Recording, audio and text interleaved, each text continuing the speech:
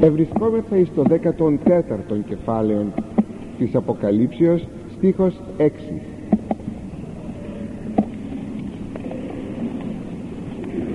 και είδων άλλων άγγελων πετώμενων εν μεσουρανήματι έχοντα Ευαγγέλιον αιώνιον Ευαγγελίσε επί τους καθημένους επί της γης και επί παν έθνος και φιλήν και γλώσσαν και λαών λέγον εν φωνή μεγάλη φοβήθητε τον Κύριον και δότε αυτοδόξαν ότι ήλθεν η ώρα της κρίσεως αυτού και προσκυνήσατε το ποιήσαντι των ουρανών και την γην και την θάλασσαν και πηγάς υδάτων. Και είδα σας αποδίδω άλλων άγγελων να πετά στο μεσουράνημα να κρατά Ευαγγέλιο αιώνιο ευαγγελίζοντας αυτούς που κάθονται που βρίσκονται στην επιφάνεια της γης σε κάθε έθνος και φυλή και γλώσσα και λαό. Και έλεγε με φωνή μεγάλη φοβηθείτε τον Κύριον και δώσετε δόξα εις Αυτόν γιατί ήλθε η ώρα της κρίσεώς Του. Και προσκυνήσατε εκείνον που δημιούργησε τον ουρανόν και την γη και την θάλασσα και τα σπηγά των υδάτων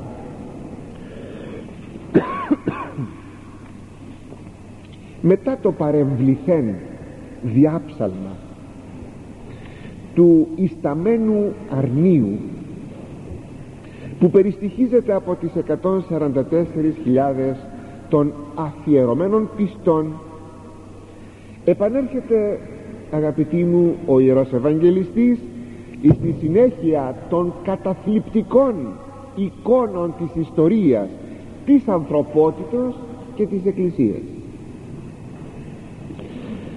βεβαίως μετά από την παρουσία του Αντιχρίστου ευθύς μετά το υπογραμμίζω σας το έχω πει δύο-τρεις φορές μέχρι τώρα δεν μεσολαβεί τίποτα μετά από τον Αντίχριστο. Ευθύς μετά έρχεται ο Χριστός ο οποίος θα έλθει όχι ως λυτρωτής αλλά ως κριτής έτσι εφ' εξής, τα αναφερόμενα παρακάτω κεφάλαια καλύπτονται από την προπαρασκευή της κρίσεως και καταλήγουν στην τελική κρίση η οποία συμπίπτει πάντοτε με τη Δευτέρα του Χριστού παρουσία. Όταν λέμε κρίση εννοούμε την αποκατάσταση του δικαίου και της αληθείας εις το πρόσωπο των δικαίων και των αληθών χριστιανών όπως και την τιμωρία της αδικίας και του ψεύδους εις το πρόσωπο των ασεβών και αδίκων και απίστων ανθρώπων. Όπως πρώτου αντιχρίστου έχουμε το χρόνο της δράσεως των επιμέρους αντιχρίστων έτσι και πρώτης τελικής κρίσεως έχουμε την μερική κρίση της ιστορίας. Όπως έχουμε πολλούς αντιχρίστους έχουμε πολλές κρίσεις. Πολλές κρίσεις του Χριστού. Αυτή η μερική κρίση της ιστορίας δεν είναι τίποτε άλλο παρά αυτή η επέμβαση του Χριστού κριτού εις τα επιμέρους γεγονότα της ιστορίας.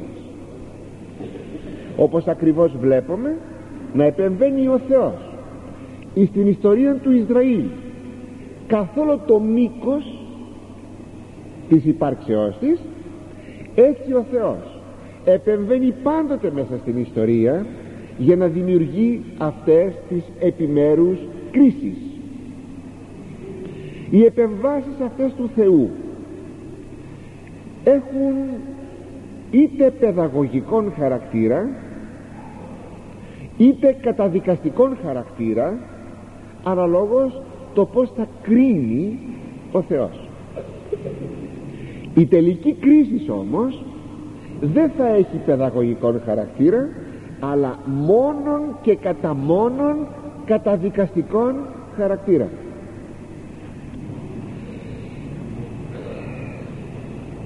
με βάση αυτά που σας είπα παρατηρούμε ότι πρώτης τελικής κρίσεως ήδη η κρίση ενεργείται η κρίση επιτελείται. Όπως και πρώτου ερχομού του Αντιχρίστου ο Αντίχριστος δρά και ενεργεί αυτό φαίνεται από πολλά χωρία της Αγίας Γραφής. Ότι, το, ότι η κρίση ήδη επιτελείται αποτελεί ένα μυστήριο. Πως ο Θεός επεμβαίνει μέσα στην ιστορία και κρίνει την ιστορία. Και φυσικά τούτο είναι ολοφάνερο εις τα μάτια των πιστών. Εις τους απίστους ίσως δεν φαίνεται ή καλύτερα φαίνεται αλλά δεν θα ήθελαν ποτέ να εξηγήσουν το φαινόμενο θεολογικά αλλά με άλλα κριτήρια. Εκείνα τα οποία προσφέρει η κοσμική φιλοσοφία της ιστορίας. Με τα κριτήρια αυτά κρίνουν τα αποτελέσματα της ιστορίας. Επί παραδείγματι γιατί εμείς νικούσαμε το 1940 γιατί χάθηκε γιατί νικήθηκε η Γερμανία κατά τον δεύτερον παγκόσμιο πόλεμο αυτά τα γιατί της ιστορίας δεν τερμινεύουν ποτέ θεολογικά οι ιστορικοί διότι δεν έχουν θεολογικά μάτια προσπαθούν να κάνουν ερμηνεία φιλοσοφική της ιστορίας όχι όμως θεολογική. Επί παραδείγματι ε, πως μπορεί να κριθεί το θαύμα της νίκης ε, των Ελλήνων εναντίον δύο αυτοκρατοριών της Ιταλίας και της Γερμανίας. Δύναται να εξηγηθεί με ποικίλες θεωρίες και είτε οι ληστικές θεωρίες είτε οικονομικές. Βεβαίως η ληστική είναι αν και εδώ είναι τώρα το σπουδαίο ότι αυτές οι θεωρίες ε, επαληθεύουν από την ανάποδη. Θα έπρεπε με βάση τις θεωρίες αυτές να έχει κερδίσει τον πόλεμο και η Γερμανία και η Ιταλία. Διότι κάποιοι άλλοι παράγοντες μπαίνουν. Ποιοι είναι αυτοί οι άλλοι παράγοντες οι οποίοι τελικά δίδουν την νίκη στην Ελλάδα; Αυτοί οι άλλοι παράγοντες ερμηνεύονται είτε ηλιστικά είτε ιδεαλιστικά όπως θέλετε πάρτε το θέμα είναι ότι δεν αναγνωρίζεται ο Θεός ότι επεμβαίνει μέσα στην ιστορία. Δια τους χριστιανούς έχουμε τις επιμέρους κρίσεις της ιστορίας.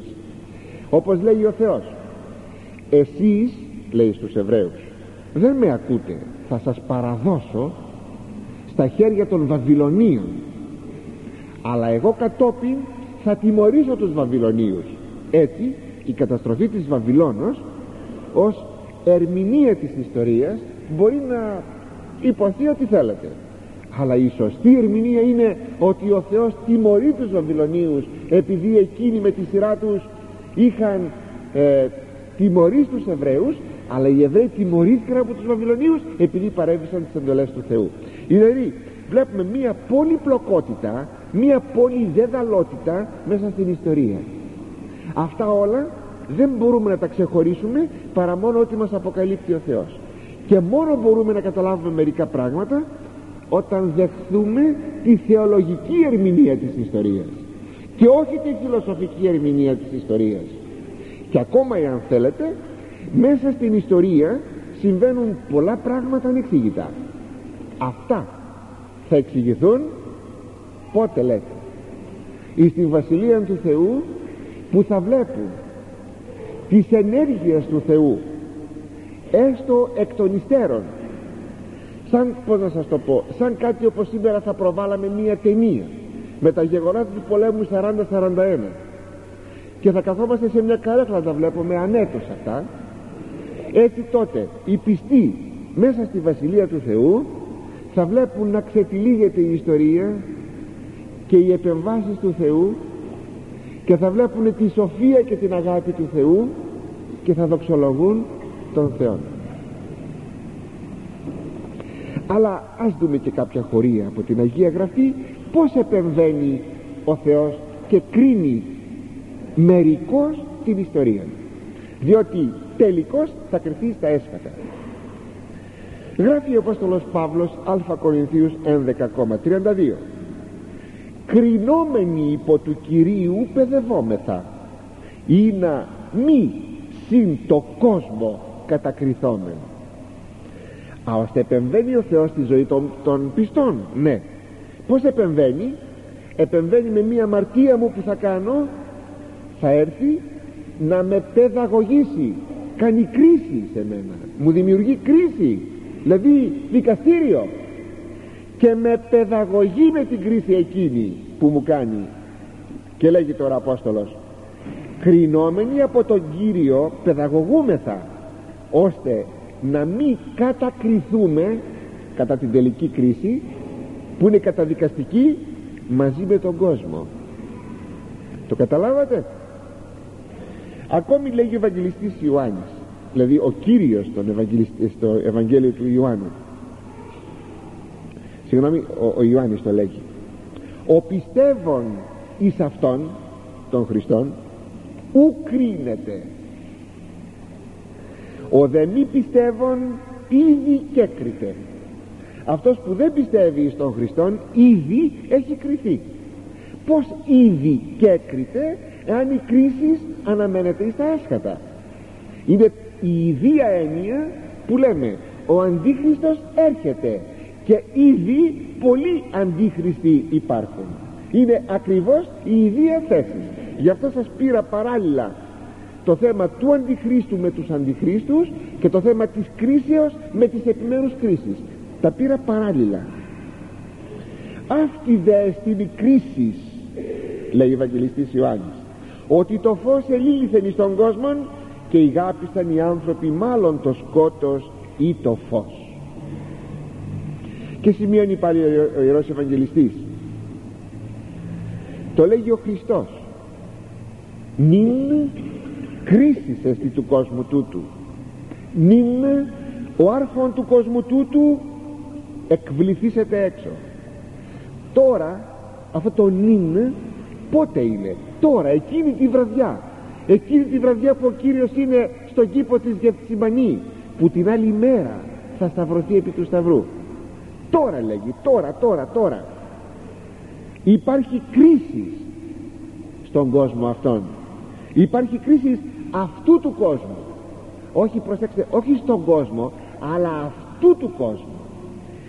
Τώρα μην. Ο άρχον του κόσμου τούτου. Ποιος είναι ο άρχον του κόσμου τούτου; Ο διάβολος. Εκβληθήσετε έξω. Θα πεταχτεί έξω. Που σημαίνει θα κρυθεί ώστε ο διάβολος εκρήθη ήδη με τη σταύρωση του Χριστού. Αλλά η, η τελευταία καταδίκη δεν θα είναι παρά εκείνο το οποίο θα βάλει τη σφραγίδα του τελεσιδίκου. Μη πάτε μακριά αγαπητοί μου ένας άνθρωπος ο οποίος πεθαίνει. Γι' αυτόν η κρίση ετελείωσε. Ετελείωσε γι' αυτόν η κρίση. Εκρίθηκε.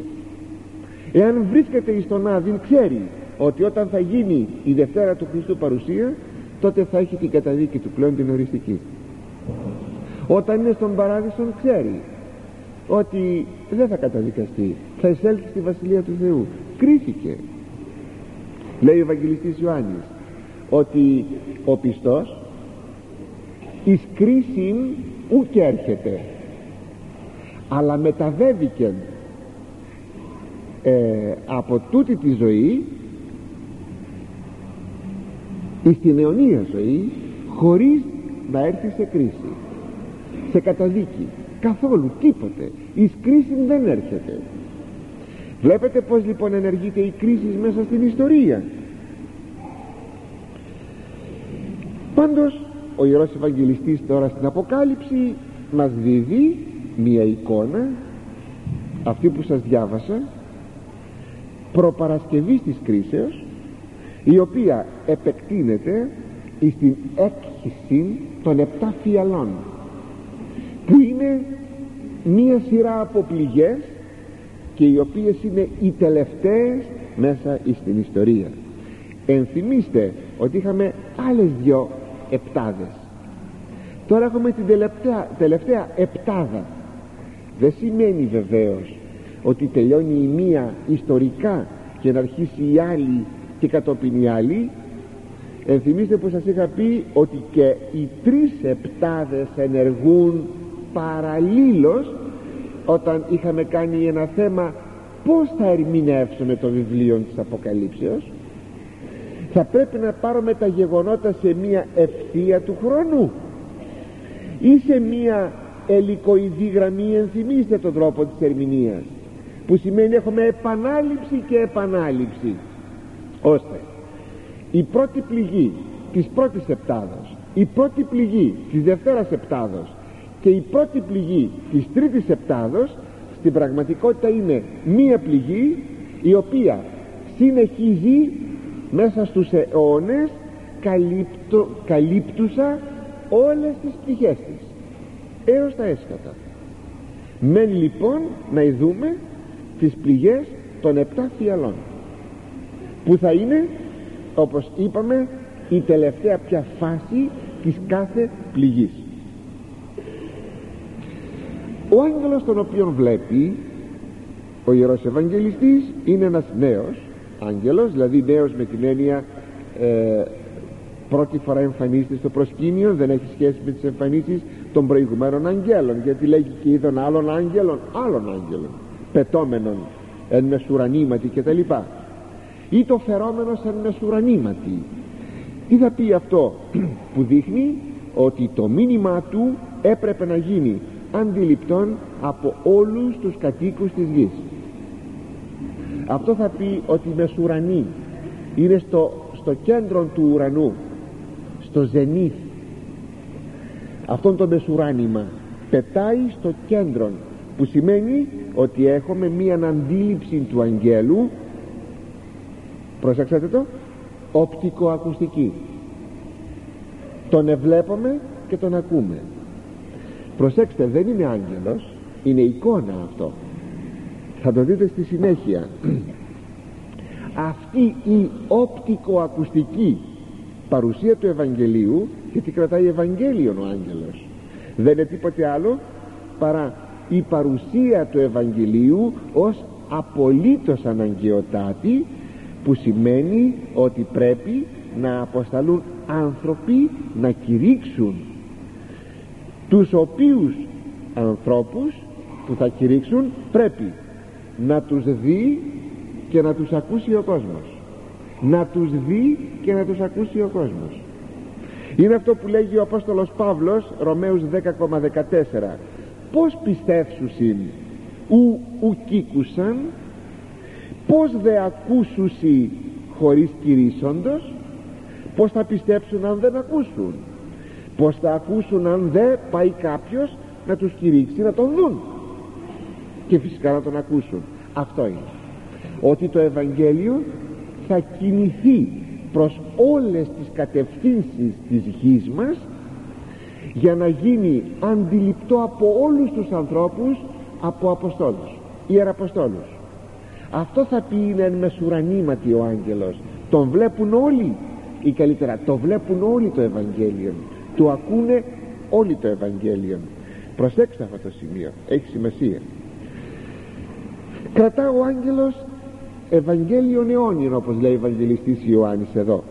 Είναι αιώνιο χωρίς ποτέ να παλιώνει που δίνει σε εκείνους που πιστεύουν την αιώνια ζωή που είναι αιωνίου κύρους που δίδει το χαρούμενο μήνυμα την αγαθήν αγγελία ότι οι βουλές του Θεού βρίσκουν την πραγμάτωσή τους ότι δηλαδή έρχεται η σωτηρία των πιστών δια της παγκοσμίου κρίσεως του Κρητού είναι συνεπώς αιώνιο όπως λέει ο Ανδρέας Κεσαρίας να το πει κανείς με δύο λόγια αιώνιον Ευαγγέλιον το εξαιώνος τούτο παρά το Θεό προορίστε αυτό το Ευαγγέλιον που αιωνίως έχει προοριστεί από τον Θεό να είναι αυτό. Γι' αυτό λέγεται αιώνιον Ευαγγέλιον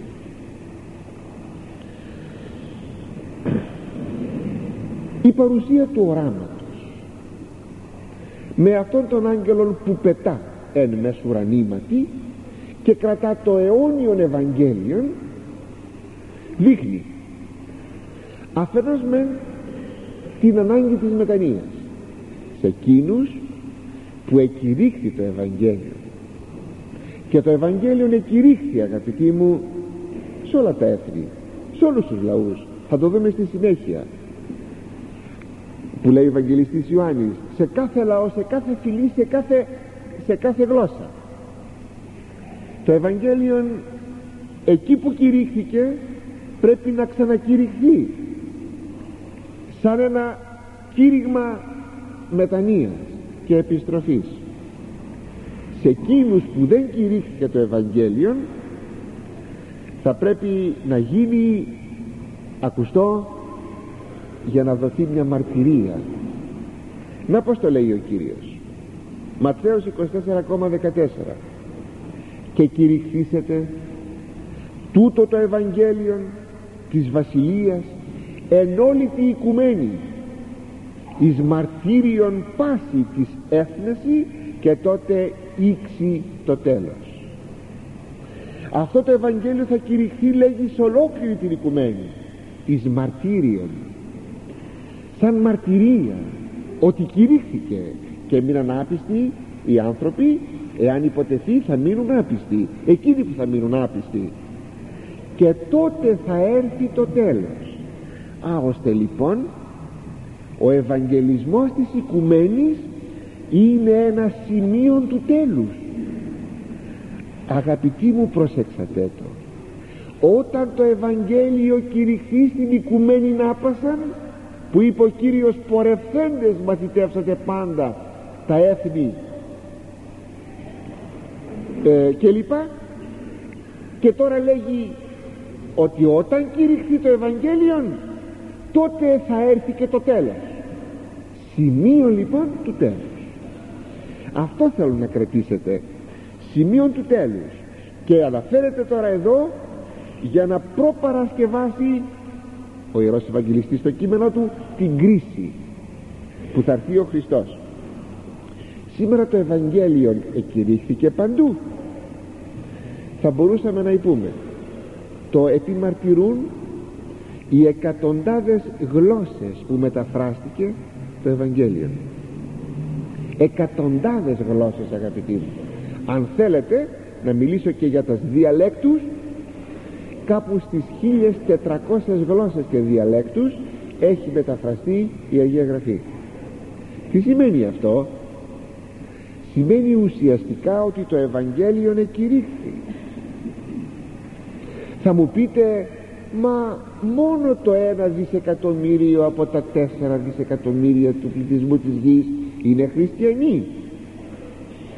Ανοίξτε το δειγματολόγιο γλωσσών της Αγίας Γραφής. Υπάρχει ένα βιβλίο και είναι δειγματολόγιο των γλωσσών. Παίρνει ένα χωρίο και έχει ένα δείγμα γραφής. Να δείτε σε πόσες διαλέκτους στην κινέζικη γλώσσα έχει μεταφραστεί το Ευαγγέλιο; 20-25 διαλέκτους στην κινέζικη γλώσσα.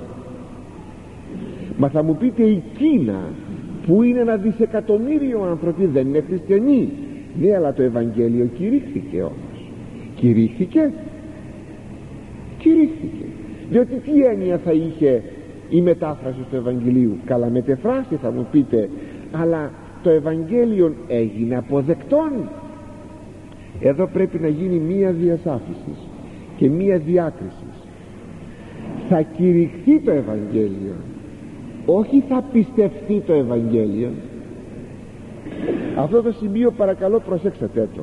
Εξάλλου αυτή η φρασούλα του Κυρίου ότι θα κηρυχθεί εις μαρτύριον πάση της έθνεσης δηλαδή σαν μάρτυρας πού; Την ημέρα της κρίσεως. Ότι δηλαδή η ημέρα της κρίσεως θα έχει μάρτυρες θα έχει μαρτυρίες. Και η μαρτυρία είναι ότι αν πούν Κύριε δεν ξέραμε ποτέ τίποτε το Ευαγγέλιο έφτασε στα αυτιά σας. Μετεφράστε το Ευαγγέλιο το πήρατε να το διαβάσετε. Ώστε δεν σημαίνει σαν ένα σημείο του τέλους ότι θα γίνουν όλοι οι κάτοικοι της γης χριστιανοί. Προσέξατε αυτό το σημείο. Μη περιμένετε τα τέσσερα δισεκατομμύρια των ανθρώπων να γίνουν χριστιανοί. Δεν θα γίνουν. Ου πάντων η πίστη. Μόνο θα κηρυχθεί το Ευαγγέλιο. Και ακόμα ο ίδιος ο Κύριος το είπε ότι όταν θα έρθει ξανά θα βρει την πίστη επάνω στη γη δεν θα τη βρει ούτε σε εκείνους τους λεγόμενους χριστιανικούς λαούς ούτε εις αυτούς. Και ποιο είναι το περιεχόμενο του Ευαγγελισμού των εθνών όπως λέγει εδώ ο άγγελος ο οποίος πετά ένα ουρανήματι δηλαδή είναι εμφανής είναι σε δημόσιο χώρο δεν είναι κρυμμένος ότι το κήρυγμα του Ευαγγελίου προσφέρεται προς πάσαν κατεύθυνση εμφανός όχι και κρυμμένος πρώτον φοβήθητε τον Κύριο το πρώτο σημείο. Είναι ο φόβος του Θεού που οδηγεί στη βαθιά πίστη που αυτή, αυτός ο φόβος που θα γεννήσει την πίστη θα δημιουργήσει την αποφυγή της αμαρτίας και την δίρυση των εντολών. Είναι τρόπον τίνα μια επανάληψη του κηρύγματος, του μηνύματος του Ιωάννου του προδρόμου και του Κυρίου που έλεγε, μετα, έλεγαν μετανοείτε ήγη και γάρη βασιλεία των ουρανών αυτό σημαίνει φοβήθητε τον Κύριον δηλαδή συγκλονιστείτε μέσα σας νιώστε αλλαγή επιστροφή. Μετανοήσατε γυρίσατε πίσω εις τον Θεό εξάλλου το μήνυμα φοβήθητε τον Κύριον είναι και για τους ειδωλολάτρες αν θα διαβάσετε το βιβλίο των πράξεων θα το δείτε αυτό. Ότι οι Απόστολοι κηρύσουν το Ευαγγέλιο με κεντρικό σημείο φοβηθείτε τον Θεό γυρίστε πίσω δεύτερον δότε αυτό δόξα. Ο σκοπός της μετανοίας σας και της εφαρμογής του Ευαγγελίου είναι η δόξα του Θεού εις τον οποίον Θεόν ανήκει η δόξα εις μόνον Αυτόν και σε κανέναν άλλο μόνο εις τον Θεό. Τρίτο σημείο και προσκυνήσατε προσκυνήσατε το ποιήσαντι των ουρανών και την γην και την θάλασσαν και πηγάς υδάτων αυτό το προσκυνήσατε μόνο το Θεό. Και για να κάνει σαφή το λόγο αυτός που είναι δημιουργός του παντός. Όχι την κτήση μη λατρεύετε την κτήση αλλά τον κτίστη. Η κτήση είναι δημιούργημα ούτε τον αντίχριστον θα λατρεύσετε που θα στήσει την εικόνα του για να προσκυνηθεί. Θα είναι μια υπόμνηση της πρώτης εντολής. Ματθαίος 4,10 Κύριον των Θεών σου προσκυνήσεις και αυτό μόνο λατρεύσεις. Λέγουν αγαπητοί μου οι πατέρες της εκκλησίας μας το εξής. Γιατί όταν σας μίλησε για τον Αντίχριστο σας είπα τη φυσιογνωμία του. Σας είπα χαρακτηριστικά. Είναι πολλά. Ένα σημείο είναι και αυτό που θα σας πω τώρα. Οι ημέρες εκείνες θα είναι τόσο φοβερές ώστε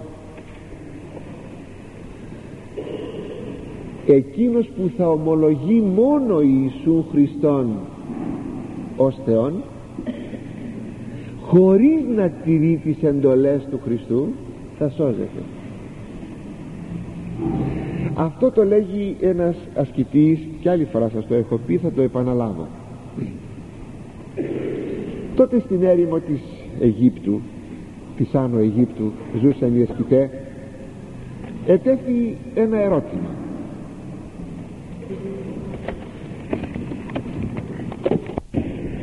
Ετέθη λοιπόν το εξής ερώτημα.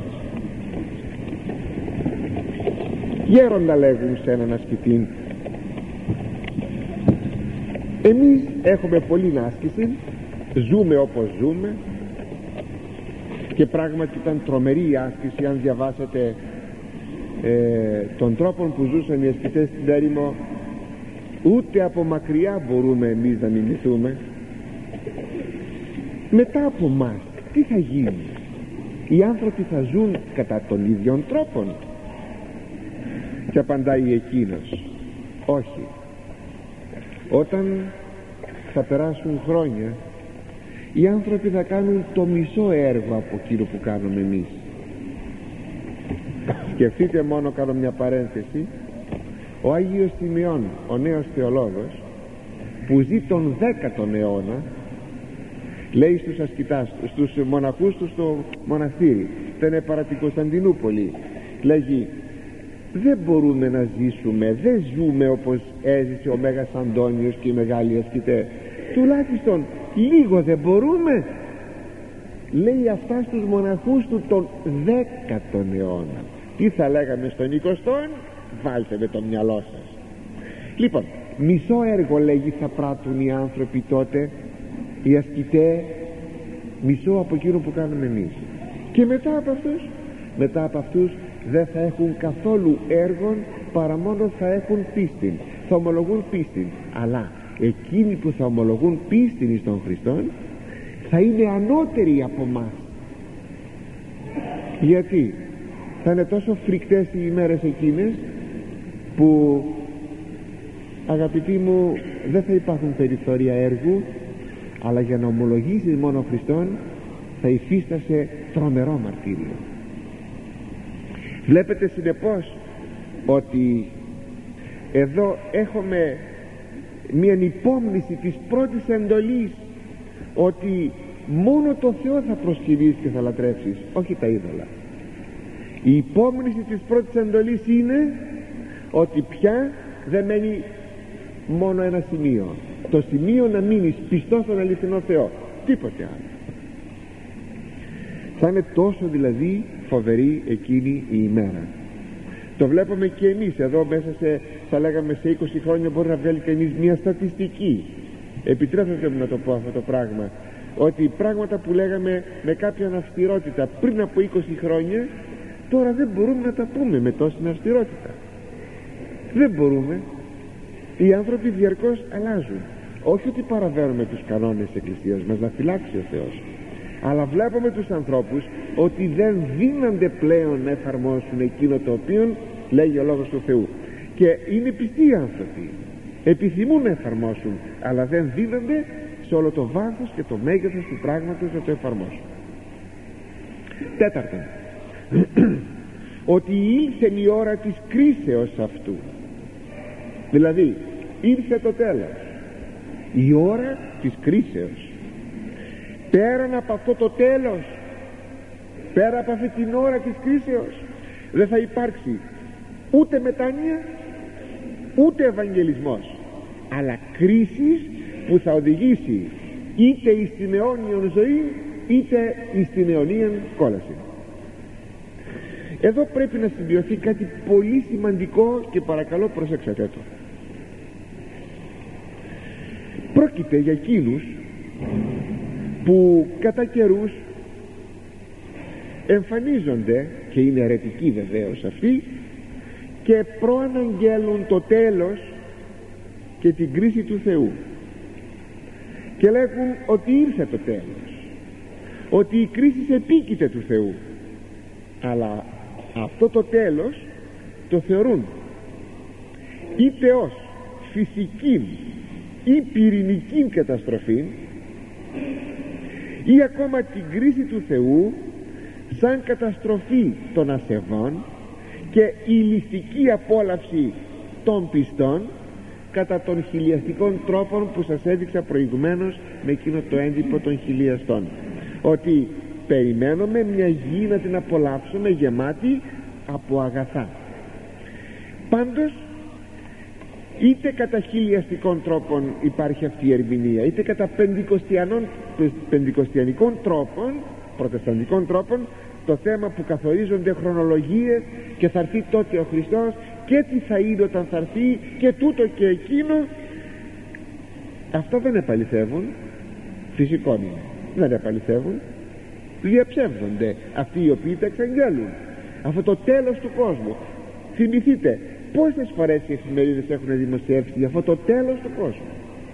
Αγαπητοί μου όλα αυτά είναι δαιμονικές κατασκευές είναι δαιμονικά τερτύπια που τα λέγει ο διάβολος γιατί λέτε για να γελιοποιεί το γνήσιον χριστιανικό κήρυγμα και να αποτρέψει τους ανθρώπους από την ενθεομετάνεια γι' αυτό λέγει αυτά να γελιοποιήσει το κήρυγμα του Ευαγγελίου.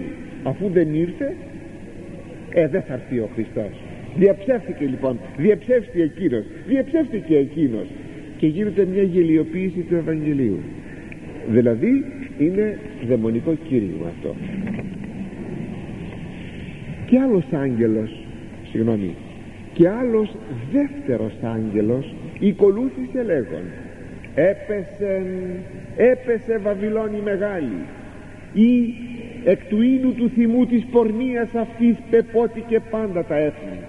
14,8 κι άλλος δεύτερος άγγελος που ακολουθεί, τον πρώτον στο μεσουράνημα εννοείται έλεγε έπεσε έπεσε η Βαβυλώνη μεγάλη η οποία από το κρασί της ορμής θυμός της ορμής της πορνείας της επότισε όλα τα έθνη. Και εδώ έχουμε μία ευχάριστον αγγελία ότι επιτέλους έπεσε η Βαβυλώνα. Αλλά και ταυτοχρόνως είναι δυσάρεστος και τρομερή αυτή η είδηση διότι όταν πίπτει η Βαβυλών τότε παρασύρει όλα τα έθνη στην καταστροφή. Ποια είναι όμως αυτή η Βαβυλών δεν υπάρχει Βαβυλώνα σήμερα ε; είναι γνωστό ότι η Βαβυλών καταστράφει. Καταστράφει μάλιστα τον ε, έκτον αιώνα. Όταν την κατέστρεψαν οι Πέρσες οι οποίοι μπήκαν στη Βαβυλώνα μέσα σε μια νύχτα και η πόλη ε, έπαθε μεγάλη φθορά μετά όμως κατεστράφει οριστικά. Ο Μέγας Αλέξανδρος όταν περνούσε από εκεί λέγει, λέγουν οι ιστορικοί όταν περνούσε από εκεί του είπαν για μια στιγμή και δια τη Βαβυλώνα και δια την Νινεβή ότι εδώ είναι τα ερήπια της Νινεβή και μετά της Βαβυλώνας. Δεν υπήρχε πια τίποτε αγαπητοί μου. Ακούτε; Δεν υπήρχε τίποτε δηλαδή και η Νινεβή η μεγάλη εκείνη πόλη η οποία και αυτή αποτελεί ένα σύμβολο που κήρυξε εκεί ο Ιωνάς και η Βαβυλών ήδη από την αρχαιότητα δεν υπάρχουν πλέον. Πως εδώ αναφέρεται η Βαβυλών; Τι σημαίνει η Βαβυλών; Είναι οι αντίθεες δυνάμεις η Βαβυλών. Διότι είχε πραγματικά σταθεί στην εποχή της σε μια πόλη που αντιστάθηκε στο θέλημα του Θεού. Σας θυμίζω όχι μόνο το τι έκανε ο αρχιμάγειρος του Ναβουχοδονόσορος ο οποίος ελεηλάτησε τον ναόν του Θεού και τον επιρπόλησε σας θυμίζω ακόμη και εκείνο το αμάρτημα που επέβαλε η Βαβυλώνα στους λαούς και τα έθνη της εποχής της να προσκυνήσουν τη χρυσή εικόνα του Μαρδούχ κατάλους του Μαρδούχ κατάλους του Ναβουχοδονόσορος. Σας είπα ή του Μαρδούχ του Θεού του πολίουχου της Βαβυλώνας ή του Ναβουχοδονόσορος και δεν προσεκίνησαν οι τρεις εκείνοι νέοι οι τρεις παιδες οι οποίοι ήρθαν στο, στο καμίνι του πυρός. Για να πάρετε μία εικόνα ποια είναι το η Βαβυλών ή το εκείνη που υπηρέτησε την κεσαρολατρία. Υπηρέτησε την θεοποίηση του ανθρώπου. Έτσι η Βαβυλών στέκεται το σύμβολο των αντιθέων αντιθέων δυνάμεων. Γράφει ο Αρέθας και τι η Βαβυλών ουκάλι ή ούτως ο φθαρτός κόσμος. Δεν είναι τίποτε άλλο παρά αυτός ο φθαρτός κόσμος. Και συνεπώς είναι το σύμβολο του φθαρτού κόσμου του παρερχομένου και του αποστατημένου από το Θεό Βαβυλών ακόμη όπως ξέρετε σημαίνει σύγχυση. Βαβυλωνία, σύγχυση, Βαβυλών. Μας το λέει η Αγία Γραφή το βιβλίο της Γενέσεως ότι το όνομα αυτό δόθηκε γιατί έγινε η σύγχυση των γλωσσών εις εκείνη τη γνωστή πυργοποιία γράφει ο άνθιμος της Ιεροσολύμων και ο Ανδρέας Κεσαρίας το γράφει. Βαβυλών δε ο ερμηνεύεται σύγχυσης τροπικός λέγεται ο παρόν κόσμος διό και πόλης μεγάλη ήρυτε. Βαβυλώνα λέγει που ερμηνεύεται σύγχυση τροπικά λέγεται ο παρόν κόσμος. Γι' αυτό και λέγεται μεγάλη πόλης επειδή ο κόσμος όλος είναι μεγάλος πολύς οπότε τι βλέπουμε; Όπως τότε οι απόγονοι του Νόε επεχείρησαν την πυργοποιία. Να φτάσουν λέγει έως τα σύννεφα έως τον ουρανό. Γιατί; Σαν ένα σημάδι μνημιακό ότι θα ξεχυθούν σε όλο τον κόσμο κάποτε ξεκίνησαν από ένα σημείο. Προσέξτε αυτό που σας λέγω. Από ένα σημείο ξεκίνησαν. Από, την, από τον τόπο εκείνον την πόλη εκείνη που ονομάστηκε κατόπιν Βαβι, Βαβυλωνία Βαβυλών και ονομάστηκε έτσι γιατί έγινε σύγχυση των γλωσσών. Τι ήταν εκείνος ο πύργος. Ήταν το μνημείο το υλικό μνημείο ενώσεως των λαών. Προσέξτε το υλικό μνημείο ενώσεως των λαών της ενότητος των λαών το σύμβολο υλικών σύμβολων ενότητος των λαών. Όπως ακριβώς και σήμερα ζητούμε ενότητες των λαών με πολιτιστικές ή εμπορικές συμφωνίες και δοσοληψίες. Έχουμε δηλαδή υλικά σημεία ενότητος των λαών. Ακόμα και μία γλώσσα. Αν υποτεθεί ότι αύριο δεν θα μιλάμε ελληνικά αλλά θα μιλάμε μια άλλη γλώσσα ευρωπαϊκή γιατί είναι και, αυτό το πρόγραμμα όπως λέγεται. Λοιπόν αν αύριο δεν μιλάμε ελληνικά εν ονόματι τίνος θα είναι; Εν ονόματι της Πανευρώπης το, το σχέδιο δεν είναι καινούριο. Ανοίξτε σας παρακαλώ την εγκυκλοπαίδεια τη μεγάλη του Πυρσού νομίζω στο Λίμα Ευρώπη νομίζω δεν θυμούμε αυτή τη στιγμή γιατί τώρα μου ήρθε στο μυαλό να σας το πω να δείτε ότι το σχέδιο είναι από τον περασμένο αιώνα για μία πανευρώπη δεν είναι καινούριο σχέδιο. Δεν είναι. Ξέρετε ακόμη ότι καθιερώθηκε εκείνη η γλώσσα η Εσπεράντο αυτή η νεκρή γλώσσα. Γιατί λέτε; Για να συνεννοούνται οι άνθρωποι μεταξύ τους. Γιατί νομίζουν ότι η γλώσσα εμποδίζει τους ανθρώπους να έχουν ενότητα. Και αν λοιπόν έχουμε μία κοινή γλώσσα ή ένα κοινό ημερολόγιο. Σύγχρονο πράγμα αυτό. Θα έχουμε μία ενότητα. Προσέξτε ανοηταίνουμε. Εδώ στην Ελλάδα έχουμε κοινή γλώσσα την ελληνική έχουμε κοινό ημερολόγιο και τρογόμαστε. Σε όλες, σε όλες τις εποχές τρογόμαστε. Γιατί τρογόμαστε; Γιατί μας λείπει η αγάπη. Απλούστατα. Εδώ σε ένα σπίτι τρογόμαστε. Γιατί μας λείπει η αγάπη. Το ημερολόγιο φταίει η γλώσσα φταίει. Τίποτα δεν φταίει. Λείπει η αγάπη. Λείπει το πνεύμα του Θεού. Δεν υπάρχει το πνεύμα του Θεού. Συνεπώς εδώ βλέπουμε ότι την εποχή που χτίστηκε η Βαβυλών θέλησαν να κτίσουν ένα μνημείο υλικής ενότητος των λαών που θα έφευγαν μακριά.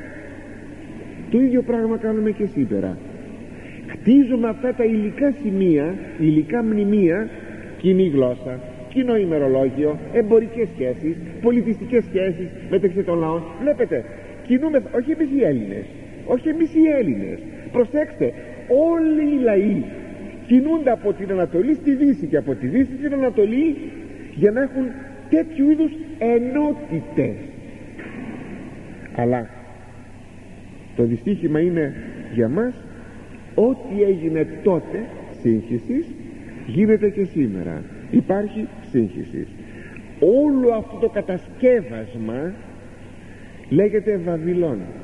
Με αυτή την έννοια τώρα έρχεται ο άγγελος να πει έπεσε, έπεσε η Βαβυλών και θα αποδειχθεί όπως τότε στην πυργοποιία ότι ματαιοπονούσαν και τότε στο τέλος της ιστορίας θα πούν οι άνθρωποι πόσο μάταια ήταν αυτά που κάναμε να το πω με μία λέξη.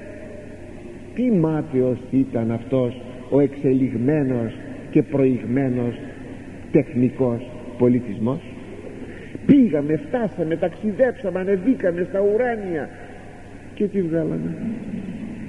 Αυτός στο τέλος θα πούν οι άνθρωποι τι βγάλαμε, ματιοπονήσαμε θα πέσει η Βαβυλών δηλαδή πλέον δεν θα έχει την ισχύ της. Πρέπει να σας πω ότι στην Παλαιά Διαθήκη είναι γνωστό ότι Βαβυλών ονομάζεται κατά πρόσωποποίηση όλος ο αμαρτωλός και ο αποστατημένος κόσμος. Στην Καινή Διαθήκη προσωποποίηση των αντιθέων δυνάμεων είναι η Ρώμη.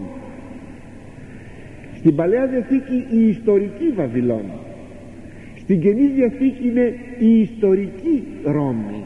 Δηλαδή η Ρώμη, πραγματικά η Ρώμη. Αλλά αναφερομένη όμως με την παλαιά της ονομασίας. Ως αντίθεες δυνάμεις Βαβυλών πάλι. Εδώ στο βιβλίο της Αποκαλύψεως όταν λέγει ο Απόστολος Ευαγγελιστής Ιωάννης έπεσε έπεσε η Βαβυλών θα το λέγει έτσι. Έπεσε έπεσε η Ρώμη έπεσε η Ρώμη. Αλλά η Ρώμη συγγνώμη ήταν δε αντίληψη και των, πρώτων, των χριστιανών του πρώτου αιώνα αλλά και των Ιουδαίων του πρώτου αιώνα ότι η νέα Βαβυλών είναι η Ρώμη. Τώρα τι είναι η Ρώμη; Σας το είχα αναλύσει ήδη τον Ιούν, το Μάιο όταν σας είχα πει με την κεσαρολατρία της τι εισήγαγε στον κόσμο και ως διώκτης των χριστιανών η Ρώμη ώστε λοιπόν θα πέσει η Ρώμη. Ποια Ρώμη; Η ιστορική Ρώμη αυτή που υπάρχει τώρα. Ο αγαπητή μου σύμβολο έγινε η Ρώμη. Προσέξτε έγινε σύμβολο η Ρώμη. Και σας είπα είναι οι αντίθεες δυνάμεις. Όταν γράφει έπεσεν έπεσε αυτό το διπλούν εκφράζει την απόλυτη βεβαιότητα της πτώσεως και καταργήσεως πάσης αντιθέου πολιτικής ή πνευματικής δυνάμεως με έκδηλον αντιχριστερικό χαρακτήρα. Γράφει ο προφήτης Ιερεμίας. 27,2 αναγγείλατε εν της έθνεσης και ακουστά ποιήσατε και μη κρύψετε είπατε εάλο και Βαβυλών κατησχύνθη βήλος η απτόητος η τρυφερά παρεδόθη μαροδάχ και λίγο πιο κάτω στο τρία χωρίο και ουκέστε ο κατοικών εν αυτή από ανθρώπου και έως κτίνους δηλαδή αναγγείλετε στους λαούς και να γίνει ακουστό αυτό μην το κρύψετε. Εάλο και Βαβυλών αλώθηκε η Βαβυλών έπεσε η Βαβυλών κατησκήνθη βήλος ο Θεός Βήλ η απτόητος. Η τρυφερά παρεδόθη Μαροδάχ ο ειδονιστικός Θεός Μαρδούχ έπεσε κι αυτός.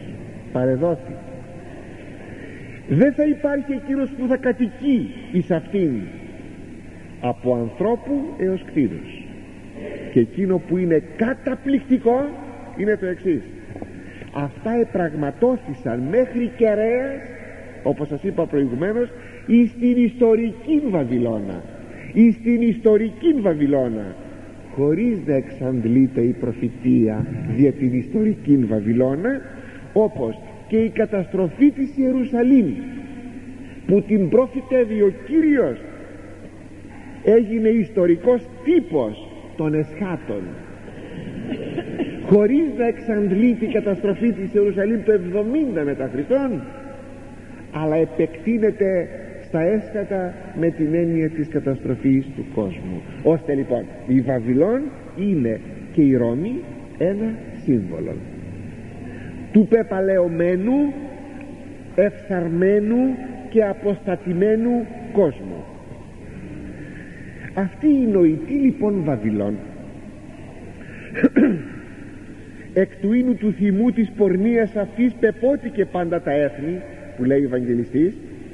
Δηλαδή από το κρασί της ορμής της αποστασίας της επέδρασε σε όλα τα έθνη είναι κάτι καταπληκτικό. Να τη γράφει ο Ανδρέας Κεσαρίας «Ήνων θυμού πορνείας ίνος θυμού θα πει ίνος κρασί ορμής.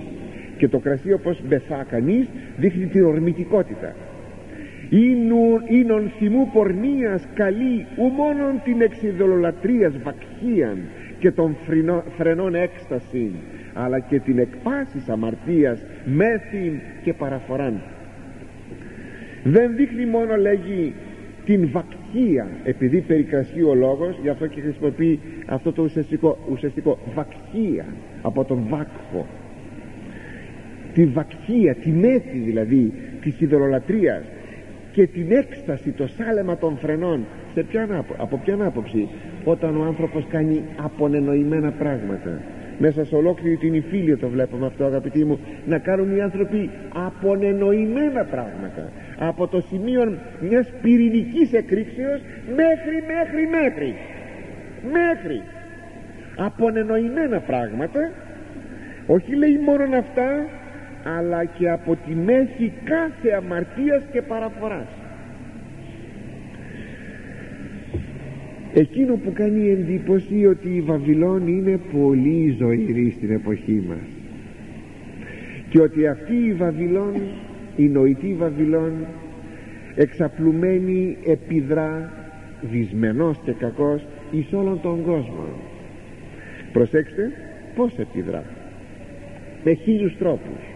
Η σπουδαιότερη είναι τα μέσα της τηλεπικοινωνίας η τηλεόραση και το ραδιόφωνο. Ακόμα και οι εμπορικές σχέσεις. Έτσι έχουμε μια μεγάλη επικοινωνία των λαών και με τον τρόπο αυτόν η νοητή Βαβυλών ποτίζει με το κρασί της πορνείας της δηλαδή της αποστασίας της ποτίζει όλα τα έθνη. Έτσι θα δείτε αυτών των λεγόμενων πολιτισμών να πηγαίνει στις εσχατιές της γης μέχρι τους Εσκιμώους αγαπητοί μου. Οι Εσκιμώοι κοντεύουν να φθαρούν να εξαφανιστούν από τον πολιτισμό που πήγε στον τόπο τους. Παντού χώνεται αυτός ο πολιτισμός μας και δεν είναι απλώς πολιτισμός με την έννοια να σου πάει το ηλεκτρικό να σου πάει μία άνεση στοιχειώδη αλλά πηγαίνει σαν φορέας φθοράς παρακμής διαστροφής. Σαν παραδείγματα θα σας πω ακόμη αυτού του κρασιού που ποτίζεται ο κόσμος θα σας αναφέρω. Την, όλα τα έθνη θα σας αναφέρω τη μουσική pop, jazz και ειδικότερα την pop. Έχει τρελαθεί όλο, όλη η φίλιος με τη μουσική αυτή. Θα σας αναφέρω το κάπνισμα που τρελάθηκε όλος ο κόσμος. Δεν υπάρχει γωνιά της γης που να μην καπνίζουν οι άνθρωποι. Σας αναφέρω τα ναρκωτικά που δεν υπάρχει γωνιά της γης που να μην τα χρησιμοποιείς. Και η έννοια της ελευθερίας που δεν είναι παρά ασυδοσία και αναρχία. Το έγκλημα όλοι οι λαοί πια αρχίζουν να δέχονται την επίδραση της εξάρτησης του εγκλήματος και οι γενετήσιες διαστροφές. Να ποιο είναι το κρασί ο θυμός της, δηλαδή ο θυμός του ίνου ε, της, ε, της πορνείας. Δηλαδή ποιο είναι αυτό το κρασί αυτή η ορμή που ξεχύρεται σε όλο τον κόσμο και ποτίζει όλα τα έθνη. Δηλαδή επιδρά δυσμενός εφόλων των εθνών. Προσέξτε όταν γράφει ότι η Βαβυλών πεπότηκε ότι η Βαβυλών έχει ποτίσει όλα τα έθνη σαν να φεύγει από κάποιο κέντρο αυτό το πότισμα δηλαδή το κακό να ξεκινάει από κάπου και να διαχέεται προς όλον τον κόσμο. Ποιο είναι αυτό το κέντρο από το οποίο διαχέεται όλο αυτό το κακό; Ποιο είναι το κέντρο αυτής της νοητής Βαβυλώνος; Χωρίς περιστροφές αγαπητοί μου. Το κέντρο είναι ο δυτικός κόσμος. Είναι ο δυτικός κόσμος. Και ως γεωγραφία αλλά κυρίως ως νοοτροπία. Δεν είναι τόσο μόνο ως γεωγραφία γιατί μπορεί να βρείτε αυτό και στην Ιαπωνία που είναι ο ανατολικός κόσμος. Όσο κυρίως ως νοοτροπία δηλαδή η νοοτροπία του δυτικού κόσμου που κατά βάση είναι η ελληνική νοοτροπία. Προσέξτε κατά βάση είναι η ελληνική νοοτροπία η αρχαία ελληνική η οποία έγινε η δυτική νοοτροπία. Αυτή η νοοτροπία η δυτική όχι μόνο ως γεωγραφία αλλά κυρίως ως νοοτροπία είναι εκείνη η οποία έχει ποτίσει όλο τον κόσμο με τη διαφορά και την αποστασία αυτό είναι το κακό. Από αυτό το κέντρο ξεπηδά όλο το κακό και ξεχύνεται σε όλο τον κόσμο. Από την Αμερική μέχρι την Ιαπωνία και από το Βόρειο Πόλο. Και από το Βόρειο Πόλο μέχρι το Νότιο Πόλο θα δείτε να, να υπάρχουν αυτά που σας ανέφερα προηγουμένως. Η μουσική pop, το κάπρισμα, τα ναρκωτικά η ασυδοσία, το έγκλημα, οι γενετήσιες διαστροφές πού γεννήθηκαν αυτά; Στη δυτική νοοτροπία αγαπητοί μου αυτή είναι η νοητή Βαβυλών.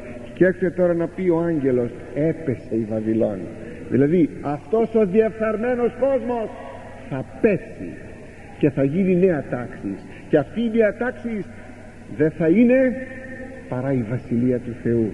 Όταν ο Θεός, όταν ο Χριστός θα κρύβει τον κόσμο και θα φέρει ένα καινούριο κόσμο. Όχι κατά ηλιστικών ή προτεσταντικών τρόπων αλλά θα είναι η Βασιλεία του Θεού στην οποία δεν θα υπάρχει ούτε πόσης ούτε βρώσεις αλλά το πανηγύρι της θέας του προσώπου του Χριστού